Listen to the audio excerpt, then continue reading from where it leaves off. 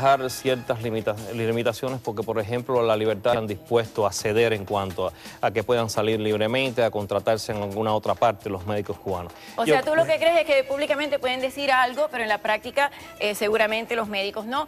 Hasta ahora, por ejemplo, se le da el permiso de 30 días, lo que es renovable 10 veces, o sea, 11 meses. También eso dicen que lo va a extender a dos años.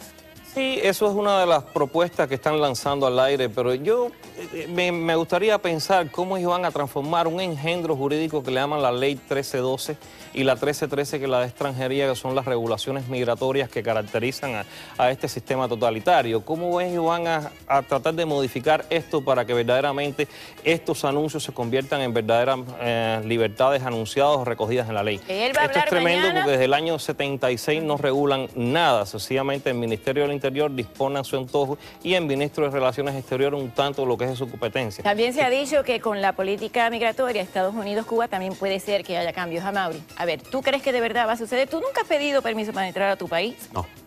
Yo me enteré eh, el otro día, fuimos con, a un canal de, televisión, ¿se puede decir? CNN. Sí, claro. estaba yo con Carla y, estaba Camilo, ah, Camilo Loret de Mola hablando con Carla por, el, por el apuntador.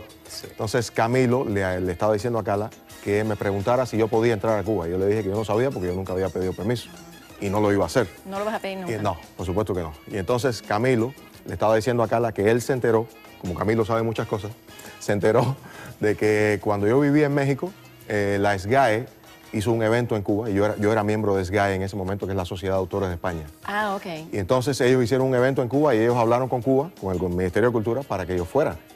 Entonces el Ministerio de Cultura le había dicho que yo no podía entrar. Que no podías entrar. Entonces ya tú sabes Entonces yo me enteré pues, ahí en ese día de que, de que Pero yo estoy tú no esperabas que te dejaran entrar, ¿no? No, por supuesto que no. Después de las cosas que yo he dicho, ellos, ellos, son, ¿sabes? ellos son así de predecibles. Pero ¿qué pasaría si realmente, digo yo que no conozco mucho de este tema, pero qué pasa si realmente esa es la idea, es cambiar? Hay un cambio nuevo, una nueva política y dicen, vamos a dejar, vamos a quitar esto. ¿Por qué no? ¿Y qué harían, qué harían los que se viven quejando de eso si, si pasa? Eso sería muy bueno para calmar esas demandas aplazadas que tiene la sociedad, pero no creo, no voy a... ¿Qué pasa si Raúl se levantó, el espíritu navideño lo invadió y dijo, yo abro las puertas de Cuba y what? A ver qué hace. Bueno, yo no creo que esos aires del norte hagan que... No sé, es muy grande el espíritu navideño, yo puede pasar. Ahora, eh, ahora también se dice que, o sea, el gobierno está muy mal, o sea, ya están, que, y las divisas de Estados Unidos y de los supuestamente 2 millones, de los cuales 800, 80% viven aquí en Miami y ellos necesitan esa entrada. ¿Cuánta gente va a Cuba? Tú me estabas contando una cifra. Bueno, de acuerdo a lo que dice el Departamento de Aviación de aquí del Condado de Dade, el año pasado fueron más de 320 mil eh, cubanos que pasaron por aquí por ¿Cuánto es el pasaporte para cada persona? Bueno, el pasaporte, si lo es nuevo, es 375 dólares. Eh, si, las renovaciones son aproximadamente 160. Estoy hablando no de lo que impone la persona que, que, que, trabaja esto en las agencias, que bien merecido se tiene, que trabaja cobrar, no, estoy hablando de las tarifas que ellos imponen. Y yo he escuchado que hay personas que reciben su pasaporte, yo había escuchado hasta una cifra de 500, y después que te lo mandan, estamos en el negocio equivocado. estamos en el negocio equivocado. Sí, estamos en el negocio equivocado. Pero después entonces te pone un cuño que dice no puede viajar, o sea que de todos modos se mete en la plata. Hay otra gente que le dicen que sí, llegan a Cuba al aeropuerto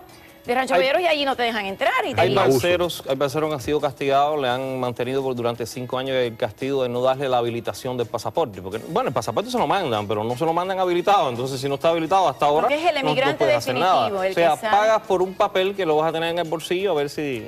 Entonces, tú no tienes esperanza ninguna.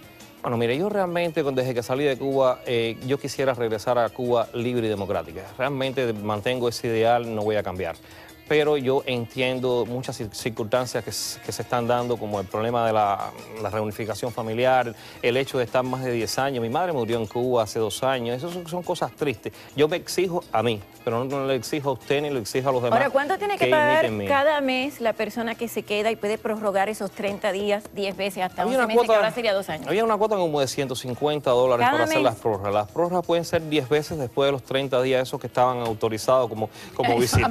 Y ahora lo van a extender a dos, años. Imagínense si cobran durante dos años estas extensiones. Bueno, habría que ver cómo lanzan estas regulaciones, pero yo sí sospecho que detrás de todo esto está el dólar y no solamente el dólar que reciben, sino también pudiéramos pensar incluso en cómo los ojos de los Estados Unidos pueden contemplar este tipo de movimientos políticos y al mismo tiempo a ver si los programas estos de la Reserva eh, Federal les permiten incluso hasta cambiar esos dólares que se les rompen, ¿no? Porque contando, si se rompe un dólar en Cuba, la Reserva Federal no lo... Eso es un programa que Estados Unidos tiene para un sinnúmero de países, excepto para aquellos que por el alta de comercio contra el enemigo han tratado de mantenerlos aislados, como el caso de Cuba. Aunque ellos se han valido de ciertas mañas para blanquear dinero, para cambiar estos dineros, como el escándalo que hubo, no sé, hace unos cuantos años por allá por Irán, un soldado que descubrió unas cajas de cash eh, que ah, pertenecían a Cuba y todas esas cosas. Pero estos programas es para cambiar los dineros que por el uso se deterioran. A lo mejor ellos también necesitan todo esto, porque realmente yo no creo en la voluntad de cambio.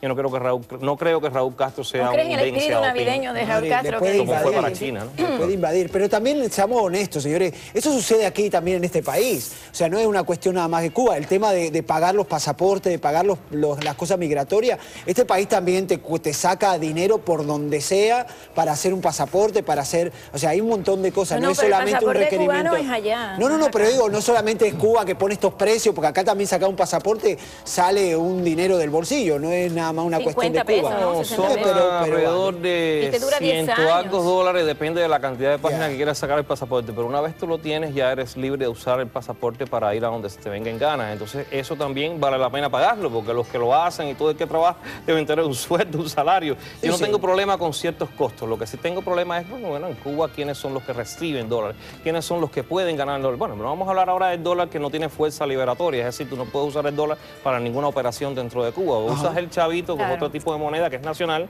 o usas el peso cubano. Pero no hay problema con que, trabaje cobre. Se había dicho que eso se iba a cambiar también, que los cubanos no cobraran en la moneda nacional, que no la pueden usar, sino que, que entonces la pudieran utilizar, porque cobran en una moneda y entonces tienen que utilizar el dólar. Sí, parece que para callar un poco esa campaña que hubo por una sola moneda, ellos le quitaron la fuerza liberatoria al dólar, porque antiguamente tú puedes, eh, antiguamente, quiero decir, reciente, tú ah, podías ir con un dólar y comprar una cafetería. A ver, ya, tenemos las líneas abiertas 305-556-3021 o facebook.com slash arrebatados. Roberto, ¿qué piensa? Bueno, yo pienso que yo llevo 46 años aquí en este pueblo de Miami y todavía no se me ha ocurrido ir a pedir un permiso a ir a Cuba. Estoy con Amaury Gutiérrez y con todas las personas con dignidad de no ir a Cuba. ¿Y si tiene un familiar allá? bueno, yo dejé, dejé familiares y lo he, lo he ido trayendo los que he podido. ¿Y si está enfermo y es su mamá y está en los últimos días y usted no la ha visto en 10 años, ¿no iría? Bueno, yo no le voy a pedir permiso a esta gente para ir a Cuba. Aunque sea su mamá. Aunque sea quien sea, que me, me, me encomiendo a Dios y rezo por ella, pero no voy. Bueno, a mí me parece que hay, un punto que hay, que hay que ceder, ¿no? Porque estamos hablando, eh, prefiere pelear con la política y no, y no apoyar a su familia. Me parece que ahí hay ciertos puntos, uno puede estar de acuerdo o no, pero ahí ya, me parece ridículo. O sea, no ir a ver a mi madre porque no estoy de acuerdo con el gobierno o no le tengo que pedir permiso al gobierno, me parece ridículo. Pero una cuestión personal mía, digo. Yo prefiero ver a mi madre y meterme por el tuje lo que me diga el gobierno y pagarle si quiere 60 pesos, pero ir a ver a mi mamá. ¿Qué harías tú, Mauri, en ese caso? Bueno, mi, mamá, vive en Cuba y yo no he tenido oportunidad de verla. Una vez que la llevé a México hace ya muchos años, antes de yo venir para acá. Ah, pero la puedes ver en México. ¿Ella puede ir a México? Bueno, yo vivía en México en ese momento. México, okay. Yo podría viajar a México y hacer que mi mamá viaje a México, pero, en ese es muy complicado. mi mamá tiene 85 años. ¿Y si se enferma?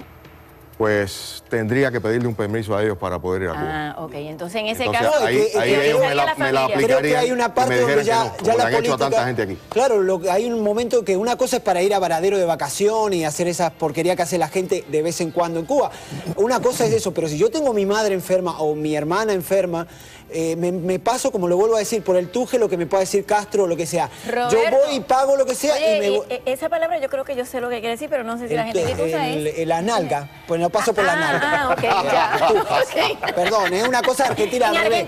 Es, es, cola al revés, como del tuje. El, problema es que esa condición no puede estar aislada de también. Hay dos gobiernos que parece que se relacionan en esto de tomar medidas para que se pueda ir y, se pueda venir. En el, caso del gobierno de Cuba, a ese gobierno hay que exigirle. En el caso del gobierno de los Estados Unidos, me parece pero, también extraordinario el, gobierno, el hecho de que eh, el gobierno de los Estados Unidos trata a un dictador como una maestra de escuela a un niño que se porta mal y le ponga ciertos También me parece que el gobierno cubano, el gobierno cubano también se alimenta mucho de eso, de esa necesidad, de a veces de ese tipo de cosas. se alimenta del dólar que No, se no, pero, se alimenta el poder, se alimenta el poder, dice, ah, yo tengo el poder y yo hago lo que quiero. Pero Juan José, la misma pregunta que Alicia Mauricio, tu mamá tiene 85 años, ¿desde cuándo no la ves? ¿Tu mamá está allá? No, mi madre murió hace ya ah, dos años. Yo salí del país como un refugiado político y sigo esa línea de principios. ¿Pero ayudas a tu familia monetariamente? Yo sí ayudo a mi familia monetariamente y siempre lo he expresado. ¿Y si estuviera viva y tuvieras que escoger entre ir y no verla nunca más y se te muere, ¿qué harías? ¿Y qué, poder de extracción tengo de tener para después que mi madre incluso falleció poder eh, representarme bueno, un esquema papá, como tu ese? Papá vive. También mi padre, que fue preso político, fue miembro de la Rosa Blanca, murió en Cuba, ese no quiso salir. Ok, pero una persona que tú quieres.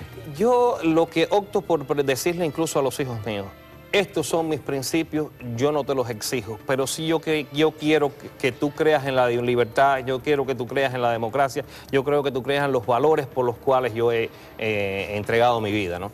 Eso sí, ahora, de aquí a exigir a la sociedad un modelo de conducta me parece eso extraordinario, sobre todo porque estamos viviendo en un país que necesitamos la solidaridad del mismo para concluir el problema.